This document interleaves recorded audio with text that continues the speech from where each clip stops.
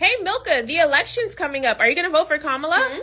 Vote for Kamala. I, I'm not really sure yet. I Why mean, not? I really want for Kamala to pass a child support forgiveness bill.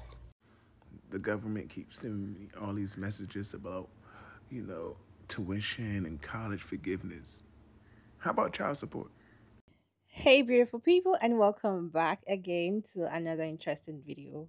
Harrison Butker has done it again. He's saying that women should step aside. Let me remind you who he is.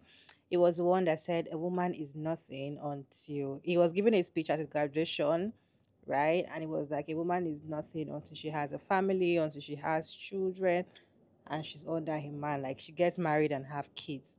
Without that, a woman life has not started. Remember? Remember? Mm-hmm. Because I think it is you, the women, who have had the most diabolical lies told to you. Ladies and gentlemen of the class of 2024, you are sitting at the edge of the rest of your lives. Each of you has the potential to leave a legacy that transcends yourselves and this era of human existence. In the small ways, by living out your vocation, you will ensure that God's church continues and the world is enlightened by your example. For the ladies present today, congratulations on an amazing accomplishment. You should be proud of all that you have achieved to this point in your young lives. I want to speak directly to you briefly because I think it is you, the women, who have had the most diabolical lies told to you. How many of you are sitting here now, about to cross this stage, and are thinking about all the promotions and titles you are going to get in your career? Some of you may go on to lead successful careers in the world, but I would venture to guess that the majority of you are most excited about your marriage and the children you will bring into this world. I can tell you that my beautiful wife, Isabel, would be the first to say that her life truly started when she began living her vocation as a wife and as a mother. I'm on this stage today and able to be the man I am because I have a wife who leans into her vocation. I'm beyond blessed with the many talents God has given me, but it cannot be overstated that all of my success is made possible because a girl I met in band class back in middle school would convert to the faith, become my wife, and embrace one of the most important titles of all homemaker. He said something again and said he saw his wife and taking care of the kids, and he just see like, why can't women just step aside and take care of the family? Talking about how beautiful it is for women to maybe just step aside and prioritize their family and spend time with their children. The second thing we're going to be talking about today is child support forgiveness. Men are asking for child support forgiveness. The ones that are even paying $25 a month are asking for child support. Let me go ahead and run some videos for you also watch and I'll share my thoughts at the end of the videos.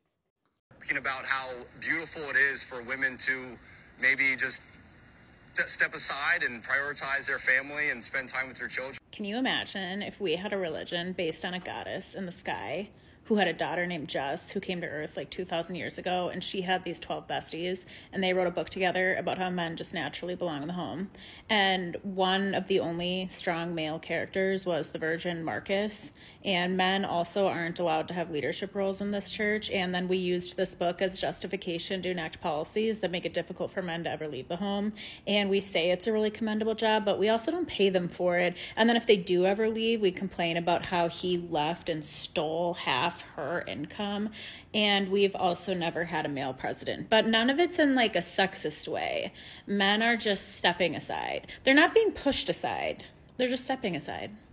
And it's really beautiful. And if anyone takes issue with any of it, they are being disrespectful towards our religion.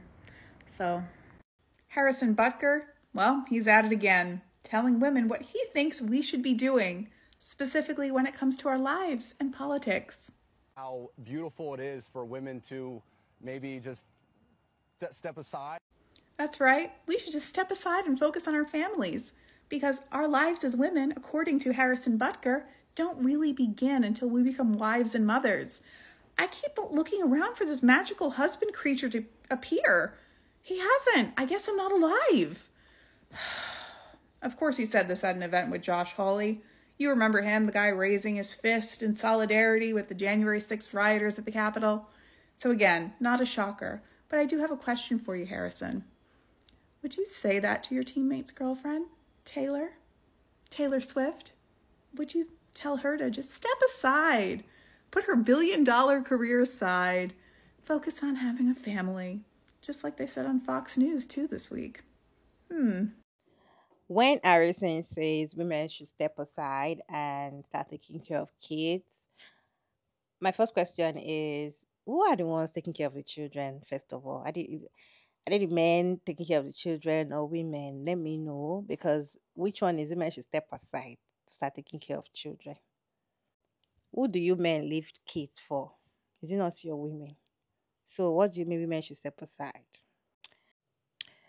Is kind of man that do not want his woman to have any other life aside from taking care of children. Seeing his woman taking care of children chef kiss for him. At this point, I pity the wife. I pity the wife. I pity the kids because it's just a selfish MF. Men that want women to just center their life around them and around their kids, around motherhood or alone without, you know, focusing on what the woman wants by herself as an individual. these men these men just want that traditional women that just you know what they do is just wake up take care of kids don't have your life don't have friends don't go out don't travel don't work right i'm going to bring the money and i'll give you whatever i want to give you but then i will go out and do whatever i want to do why can't you say men should step aside and have this family bond or men should step aside and take care of kids right and be there for their children why is it women that have to step aside Step aside from what? Well, I'm not so surprised. After his first speech at that graduation, I already know the kind of person he is, so expect it. He's not the kind of person that you want to date or even marry because I personally pity the wife. I don't know what she'll be going through because she's in soup. The government keeps sending me all these messages about, you know, tuition and college forgiveness. How about child support? How about taxes? Huh? How about those forgivenesses? Hmm? My daughter's father and I broke up when she was like six months old. So I pay for her school, after school activities, her everything has always been me. I hardly ever get child support from her father. Thankfully, I'm financially secure. I do not depend on it. But sometimes I think, like, yo, it would be great if you could help out, you know? And he did. I got a child support payment. And honestly, I just want to say thank you. And for any other moms out there that are looking to get child support, like don't give up. Don't give up because you too might receive $27.33 one day. Y'all niggas are so embarrassing. Like beyond embarrassing. I know y'all are not on the fucking internet asking for child support forgiveness. Child support forgiveness. Kamala is proposing to give y'all money to start a business, to fund a business. Y'all are asking to remove the child support that you did not fucking pay. Take care, like, there is already a stereotype associated with black fathers. And then y'all gonna get y'all asses on the fucking internet talking about can you forgive child support? Just fucking embarrassing. So I had zero intentions of chiming into this conversation. Largely because, first things first, we're a mixed company. I don't believe we should have certain conversations in mixed company. Okay. However, I'm I'm perturbed. I, I am perturbed and disturbed that Kamala would offer you in words an opportunity to um, fund a business and take care of yourself and your family. And the only question that some of you in words had was but what about them kids though? Who gonna take care of them? Nigga, what? Now again, I did not want to have this conversation because not only are we a mixed company, but as someone who has a background in political science, I personally believe that there is a concerted effort during this election cycle to disengage black men by scapegoating them. The numbers show, the data shows that black men are not the people getting Trump over the finish line. It's white men, it's Latin men, it's uh, Latinx men, it's white women. Yet somehow black men are the target of conversation and black men are Kamala Harris's number one enemy. Nonetheless, f- for those of you asking about child support forgiveness, you're embarrassing, okay? You are embarrassing me and my homegirls and my ancestors. Hey, Milka, the election's coming up. Are you going to vote for Kamala? Mm-hmm. Vote for Kamala. I, I'm not really sure yet. I Why mean, not? I really want for Kamala to pass a child support forgiveness bill. I'm sorry, what? Yes, a child support forgiveness bill. What is that? A child support forgiveness bill is a bill that forgives all child support for black men so they can finally use that money to build wealth. So you want a bill that makes men not financially support their children? I'm I'm confused. Well, why can't the mom just support the child? Like, why does the father have to help the mom with the child? Because they're their dad? Well, yes, because child support is keeping so many black men from building wealth. Isn't the average child support like $200, $250 a month? Yes. That's an extra 250 to $500 that a black man can use to build wealth for himself and his generations. But he has to use it on child support. That doesn't sound correct. I don't think wealth is two hundred and fifty dollars is stopping someone you from building wealth. It. You don't get how important it is for black men to build wealth instead of raising their children. Like you really just don't get oh it. Oh my gosh, you're ridiculous. Now let's move to the child support forgiveness situation. I saw a video of men begging for child support and they want the loan of child or they want child support forgiveness out of it, da da da da da. And I'm like, what is going on? To be honest. Do you know what bust my head is when I read comment section of one of the videos and somebody was like the child support of you guys that pays $25 a month. In fact, there was a comment I saw. She was like, um, our dad was paying our mom one dollar sixty something cents every month when they were still little for child support.